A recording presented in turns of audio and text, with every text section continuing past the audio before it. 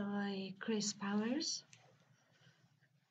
y contribuyo a GXDAO. Hoy voy a hablar de los sistemas de gobernanza basados en la reputación.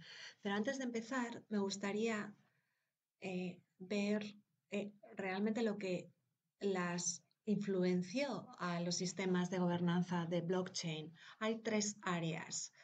Una de ellas son las democracias representativas, dos, la gobernanza corporativa, el gobierno corporativa y los movimientos sociales.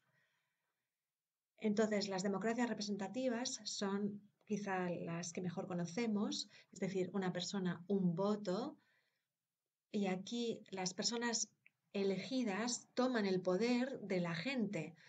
El gobierno corporativo es cuando los eh, accionistas votan en función de su participación. Y luego están los movimientos sociales. Esto quizá no lo veamos como un sistema de gobernanza, pero sí hay cierta conexión en la toma de decisiones informal y representan un tipo de sistema. Por ejemplo, los movimientos de derechos humanos, humanos o los movimientos por el cambio climático. Así que lo interesante aquí es ver eh, de dónde viene el poder, eh, de dónde, dónde se origina el poder que acaba en cada uno de estos sistemas. En las democracias representativas, el poder viene de la gente. Los elegidos políticos tienen ese poder que les emana de la gente. El gobierno corporativo ese poder viene de los accionistas y está basado en el capital. Es decir, que los accionistas tienen un poder determinado por sus acciones, por su participación. Y luego creo que los movimientos sociales son los más interesantes porque no hay una estructura de poder, no hay nada que eh, se convierta en una acción, que provoque esta acción, pero sí tienen mucho poder. Y este es mi argumento, porque están movidos por la reputación. Es decir, que nadie es elegido. Por ejemplo, Martin Luther King fue el líder de un movimiento social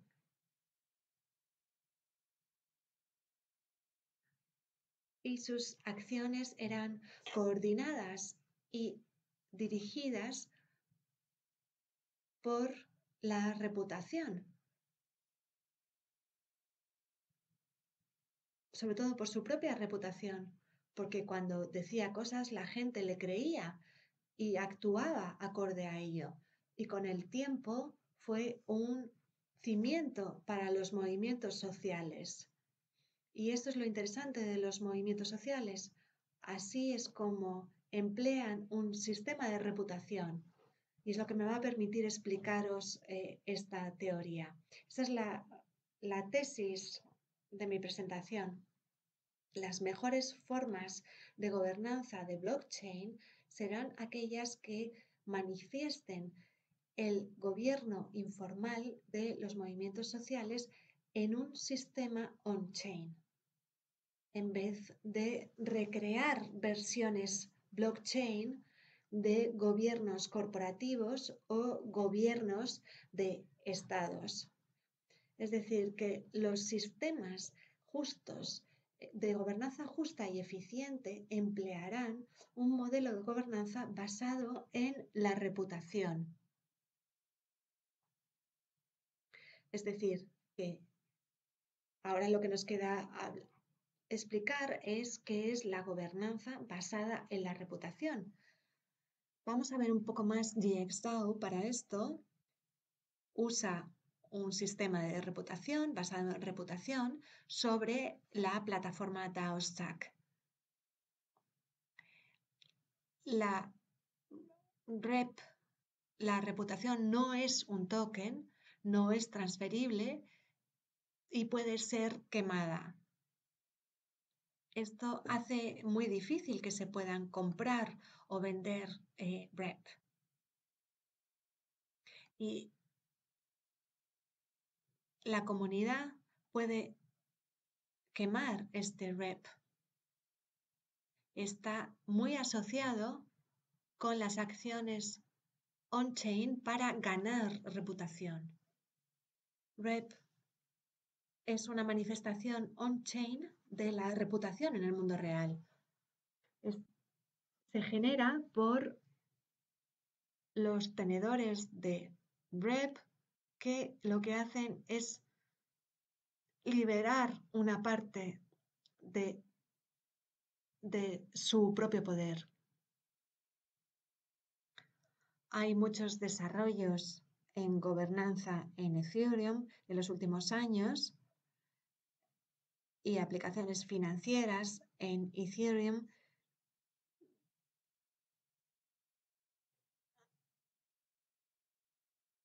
Y quizá la más famosa de gobernanza on-chain es DAO, que se lanzó como un fondo de capital riesgo gestionado on-chain y que fue muy rompedora porque presentaba muchas ideas y MakerDAO gestiona un banco central on-chain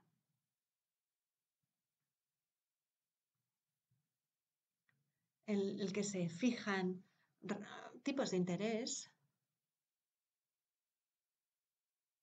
se vota para fijar esos tipos de interés cada semana. Moloctao es otro también que está basado en la eh, financiación, en los fondos para los eh, bienes públicos,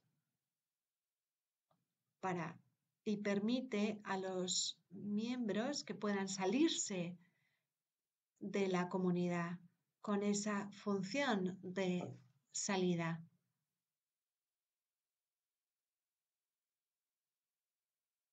Permite a los miembros salirse de esa comunidad si toman esa decisión. Y luego Aragon es la infraestructura para las comunidades de Internet en todo el mundo.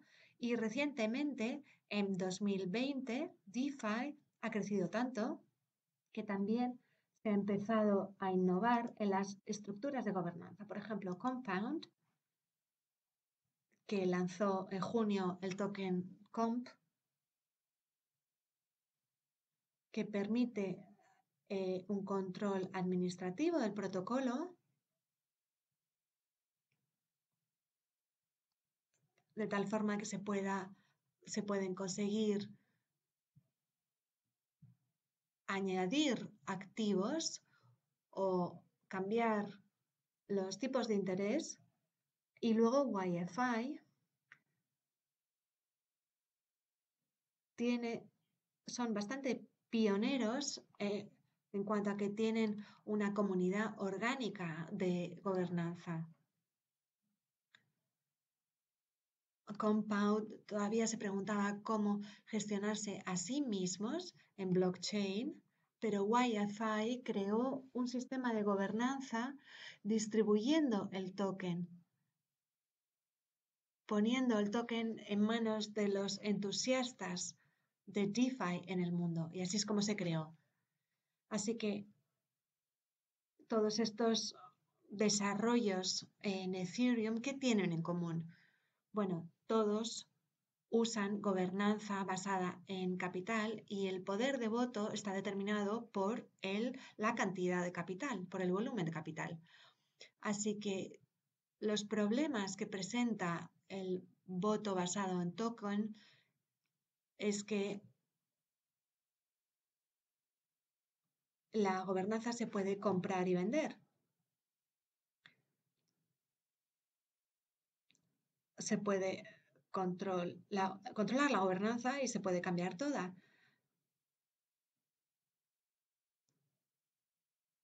Controlan el poder de gobernanza mediante exchanges o con los flash loans. Siempre hay factores que hay que construir sobre el sistema de gobernanza porque hay tokens que se pueden comprar y vender. Y luego la apatía del, del votante también. Quizá los especuladores eh, y los inversores no están tan interesados en la gobernanza y no compran el token para ser buenos gobernantes, sino simplemente para especular o invertir a largo plazo. Pero lo que es interesante para ellos es el precio a corto plazo. De ahí están saliendo muchos problemas de gobernanza que incluyen acciones sobre el precio a corto plazo. Y estos son uno de los problemas de la descentralización.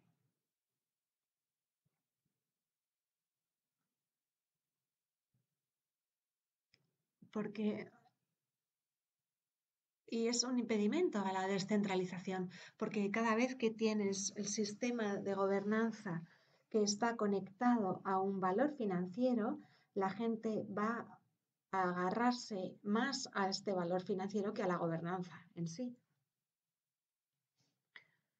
Vamos a tomar un poco de distancia del el entorno blockchain y voy a volver a lo que es Internet al principio y cómo funcionaban los sistemas de reputación y cómo nos movían. Por ejemplo, eBay fue pionera en los sistemas de reputación para los compradores y los vendedores. Había subastas online, pero no creó los sistemas de confianza para que los compradores un comprador en, Texas pudiera confiar en un vendedor que estuviera en China. Facebook, por ejemplo, para diferenciarse de otras eh, plataformas eh, de social media,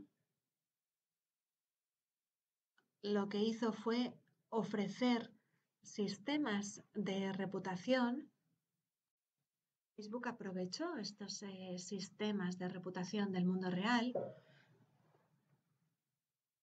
y se enfocó en las identidades del mundo real. Airbnb y Uber son ejemplos muy claros de cómo los conductores intentan eh, optimizar eh, sus valoraciones para hacer más negocio.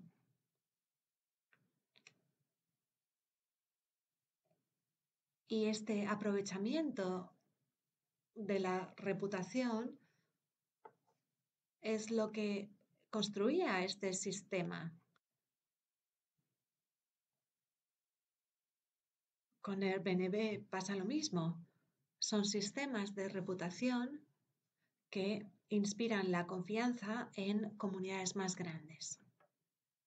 Y luego las comunidades de código abierto emplean una gobernanza un poco floja en GitHub.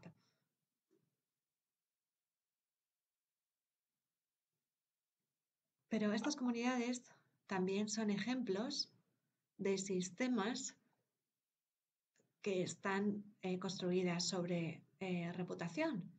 Muchas veces tienes un líder que no ha sido votado ni nada, pero la comunidad ha decidido seguir a este líder. La mayoría de los blockchains también usan eh, la gobernanza basada en la reputación. Por supuesto, Bitcoin o Ethereum tienen, tienen gobernanza, aunque parezca que no tienen gobernanza,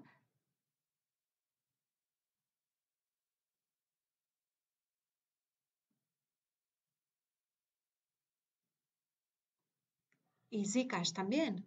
No tienen gobernanza on-chain, pero tienen gobernanza off-chain,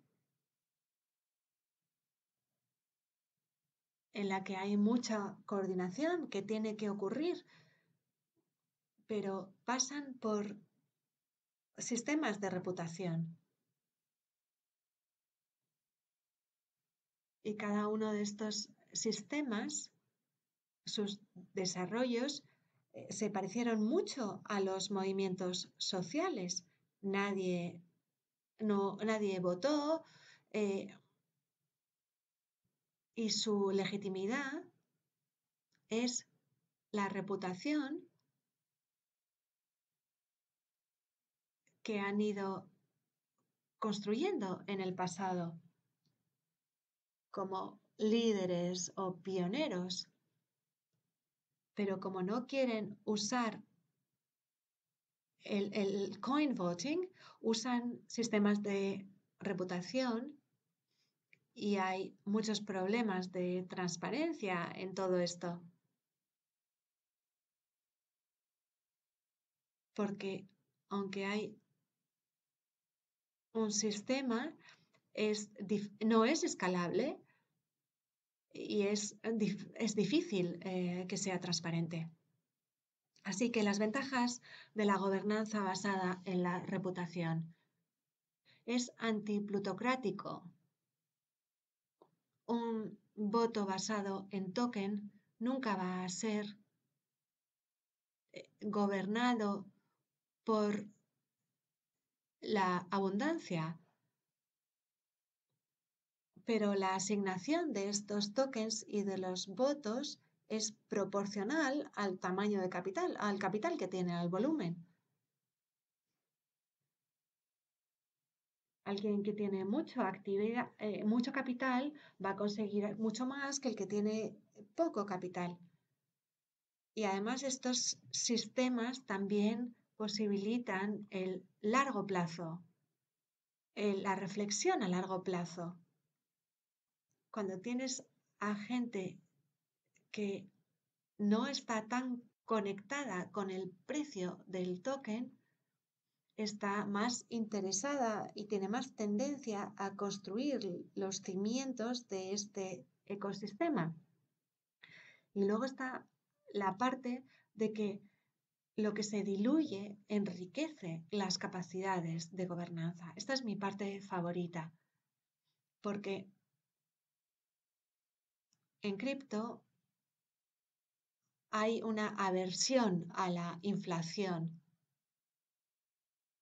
está basado en la idea de la escasez.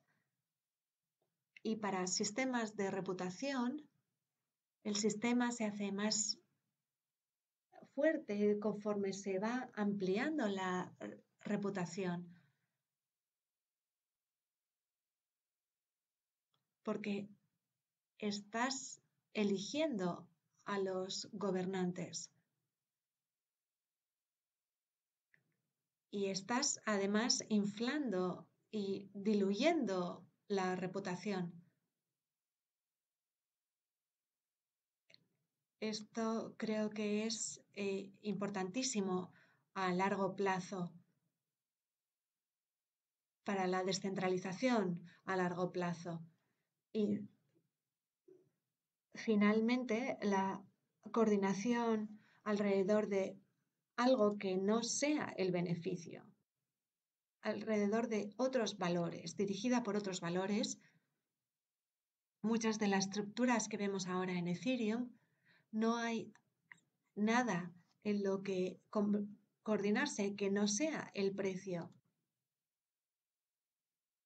No hay forma de coordinarse con los demás para conseguir un consenso. Así que creo que la gobernanza va a explorar estas áreas.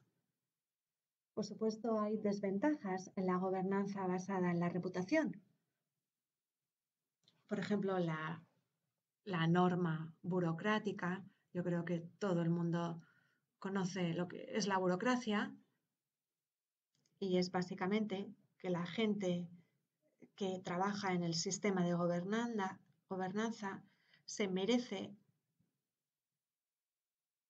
encontrar formas de poder controlar ese sistema.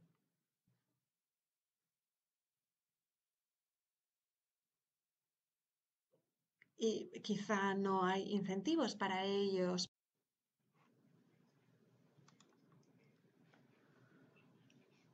Y los burócratas pues no, no tienen un esquema de juego o incentivos para realmente estar más cerca de los usuarios Y luego también está el hecho de que los que eh, tenedores de esa reputación controlan quién consigue esa reputación. Es un poco lo que está pasando en Estados Unidos ahora mismo, ¿no?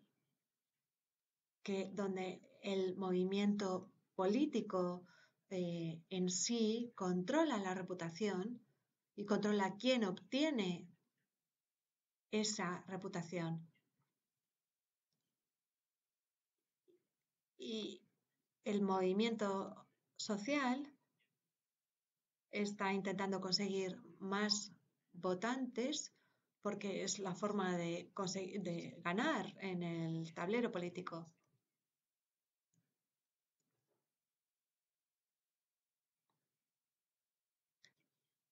Así que aquí podemos ver algo similar.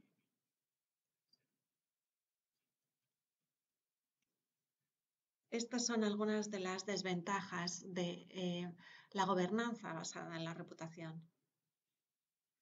Luego, DXDAO, eh, la gobernanza eh, de reputación en acción, se lanzó en 2019 en colaboración con DAO Stack y Gnosis hubo eh, un 1,37 millones de REP que se distribuyeron a 40 nuevas addresses.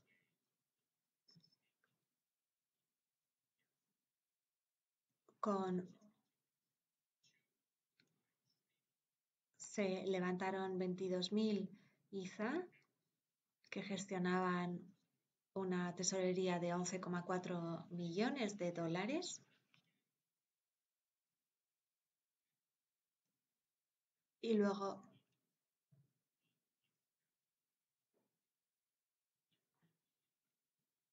Así que había un millón de red que se emitieron y cuatro nuevas eh, addresses. Así que en 16 meses se ve un, ratio de inflación de 37% y esto está expandiendo la base de gobernanza de GXDAO. La base de gobernanza es la que controla eh, GXDAO. No hay valor financiero.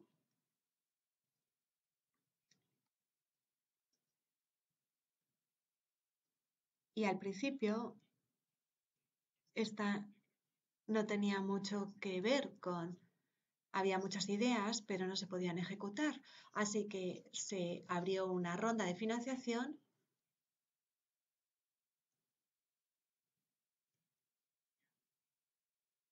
y se lanzó el token GXG, en la que se, se recaudaron 22.000 ETH que equivalían a una gestión de 11,4 millones de dólares. Eh, tiene la propiedad y gobierna Omen y el protocolo MESA, que es un protocolo descentralizado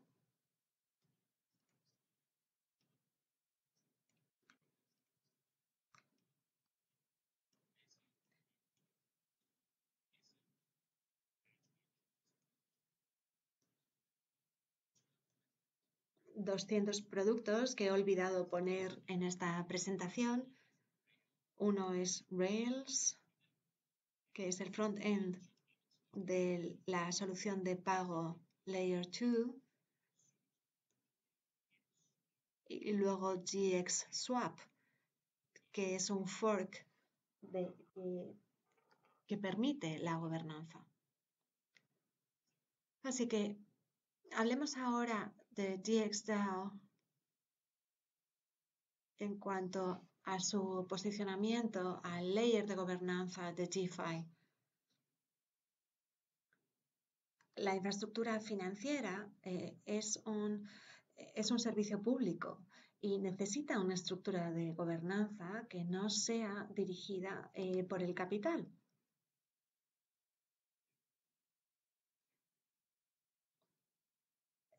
Pero es importante esta, esta perspectiva.